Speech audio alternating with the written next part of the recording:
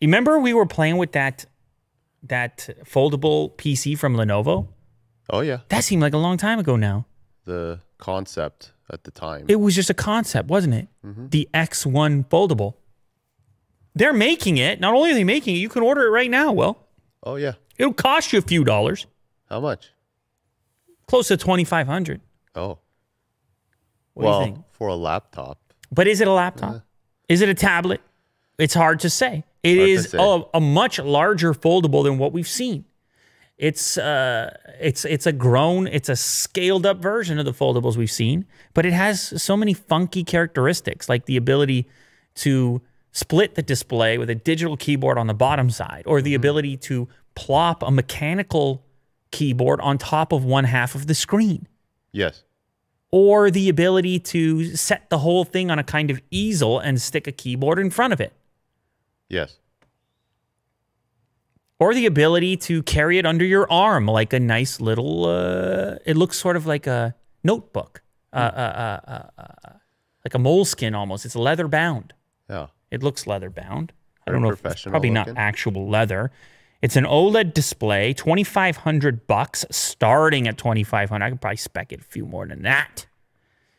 It's got an Intel Core i5 chip, some sort of custom chip. The ThinkPad X1 Fold. I've been a ThinkPad fan in the past.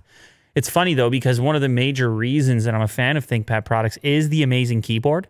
Mm-hmm. And Yeah, you've always been a fan of those. here you have a completely keyboardless device with a keyboard attachment. Can they bring the same DNA through on the detachable keyboard? Look, it has a kickstand. This is such a strange device. I love it.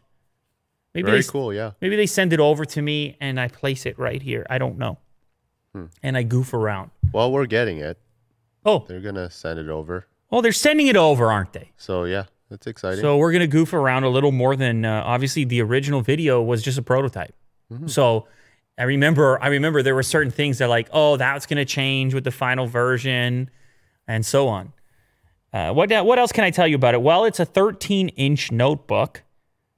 Of course, that's the whole display. If you're using the whole display, eight gigs of RAM, one terabyte of storage, 11th gen Intel processors, 50 watt hour battery, and it weighs just 2.2 pounds with 5G support. They say their hinge is robust. You'll be bending and folding for years to come. It's a 2K display, 16 by 10, and uh, it's about the same height as a 14 inch 16 by 9 laptop. Uh, no, wait, that's a different model. The Nano. That's a different model. Uh, Thirteen point three. ignore what I ignore the last part that I just said. But it, it is two point. It will be two point two pounds. Oh. So anyway, many different ways to use it. We were only scratching the surface. This is some of this technology. It does look like a like a real ThinkPad keyboard, by the way. It does, yeah. And something interesting, you can fold the whole unit up with the keyboard on the inside, which is quite. That's nice. useful. You don't have to put it away somewhere. Yeah, it's a nice spot to hold your keyboard. They also say it's durable. They just dropped something on it in this video. Anyway, we are in a situation right now where the technology might be a little bit ahead of our uh, ability to imagine it in our lives. It's like, hey, we can fold screens, and everybody scrambled. Where, where are we folding? What are we? Yeah. And we talked about about this- the use case? Let's just do it. Yes, and and we've talked about this in the past how that can be frustrating because people say I don't need that, but for me, I, think it's inspiring because it's sometimes, especially in the early stages, you know you're onto something when you can't. You're the the more futuristic products require some imagination, imagination from a construction and engineering standpoint, and imagination from a user standpoint mm-hmm. and ma- imagination from a software developer standpoint. Everybody has to look at the technology, scratch the sides of their heads in the temple region, and say, huh, what could we do with that? Yeah. What could we do with that? Microsoft is doing it, Samsung's doing it, Lenovo's doing it with the ThinkPad.